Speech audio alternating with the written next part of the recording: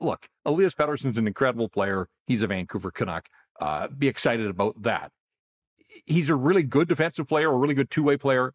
He's just not one of the three best defensive players in the National Hockey League this season. So there is no snub. Let's get that out of the way right here, right now. Bergeron, as you said, 12th straight finalist for this award. Unbelievable.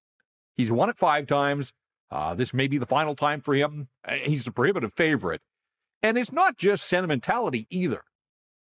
Patrice Bergeron won 61% of his faceoffs this year. He was on the ice for 27 even strength goals against all season. All season, 27 even strength goals against. Led the Bruins with an individual Corsi of 59.7%. And oh, yeah, was a huge part of the Bruins having the best penalty kill in the National Hockey League. Penalty kill is going to be a theme through uh, this little segment here. Yeah. Nico Hischier, and I thought this was wild in the uh, NHL press release yesterday he'd be the first ever number one overall draft pick to ever win the Selke. Like you think, I mean, we're talking about the best player in each draft class. Like I would have thought that somewhere along the line, you know, a two way bandit would have been uh, in the mix there. But no, apparently no. I guess first overall's like all offense and maybe not enough defense. uh, whatever the case. So there's that. Again, I'm not expecting that Hischier is going to win, but if you're wondering why Nico Hischier and he was the first overall pick in in Pettersson's draft class. So these guys are like peers on a lot of levels. Yeah. Um, he set Devil franchise records for faceoffs taken and faceoffs won. He led all Devils forwards in shorthanded ice time. New Jersey had the fourth best penalty kill in the National Hockey League. He led his team with 64 takeaways. And when uh, at even strength or five on five, the Devils outscored opponents 61 39. So uh, basically controlled 61%. I mean, that adds up to 100. 61% of the even strength goals scored uh, were by the Devils when Hischier was out there on the ice. So uh, that gives you a pretty good sense that uh, spending a lot more time in the offensive zone and getting it done uh, offensively. And then you come to Mitch Marner, who's a winger, not a center. And that's a little bit unconventional for the Selke. But yeah. again, Marner's uh, secret sauce this season led the league in takeaways with 104, just the seventh forward since the NHL started tracking takeaways to crest the 100 takeaway mark. So doing things that not many other guys have done over the course of their careers. 13th among all NHL forwards in shorthanded ice time. And the Leafs penalty kill was fourth in the National Hockey League. So the Bruins were one, the Devils were three, the Leafs were four, the Canucks. Where were they? Remind me. Way down the list, Yeah, J-Pat. exactly. Just keep scrolling. You'll find. Right. So the Canucks don't make the playoffs, and their penalty kill is Yeah. dead last in the NHL. Now, it's not all on Elias Pettersson, but certainly guilty by association. And I just don't think voters are going to be able to overlook that. And clearly they didn't because the finalists are out here. So, yeah, the piece that I wrote at thehockeynews.com was all right, well, where does Elias Pettersson stack up then if he's not a finalist? And we won't know until the award show in Nashville the week of the draft in June. Uh, the professional hockey writers will release all of the votes and we'll get a sense. Like Pettersson may have been fourth for all we know. We just don't know at this point.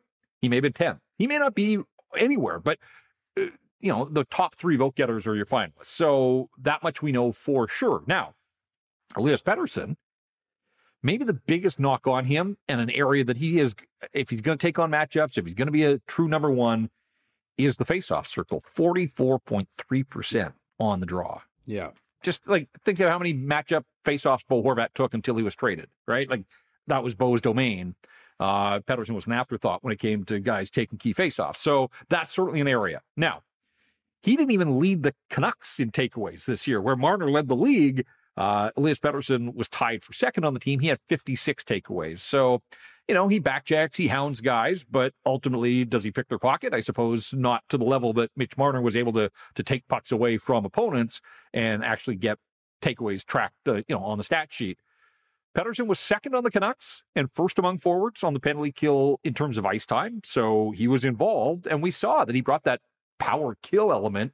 I mean, he and JT Miller ended up tied for the league lead in shorthanded goals and shorthanded points. So again, Pettersson shows signs of being a, a really good penalty killer, but he was on a team that was dead last. And so, uh, you know, it just wasn't going to happen for him.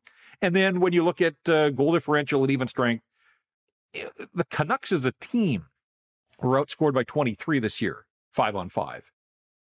With Pettersson on the ice, the Canucks outscored opponents by 12. So it gives you a sense of, you know, when he was out there, the ice was tilted in the right direction, but still outscoring opponents by 12 at evens compared to Hischier, who was, you know, by 22, and Marner was more than that. And again, Bergeron, 18 five on five goals all season long. So, you know, not a knock on Elias Pettersson, not a slight. I think he's trending in the right directions. He does a lot of things uh, that you would want from a Selke candidate and a Selke finalist. And I also think it's important to note, like, this is one of those awards, and I think back to Ryan Kesler, like, there's a progression involved. I think you have to get some votes, and then you get notoriety, and maybe people around the league take note, like, oh, okay, for next year, like, I should be watching. You know, Pettersson's kind of creeping up there and then maybe you work your way to being a finalist. And then ultimately, if you continue to progress in the right direction, at some point, maybe you become a Selke winner. But uh, like all these awards, I mean, you're dealing with the best of the best in the National Hockey League. There's no shame. If Elias Pettersson is one of the top 10 defensive forwards in the NHL, that's pretty damn good. It's just that he is not one of the three best defensive forwards in the NHL this season. So, yeah, no snub, no slight, no issues. Game on. Carry on.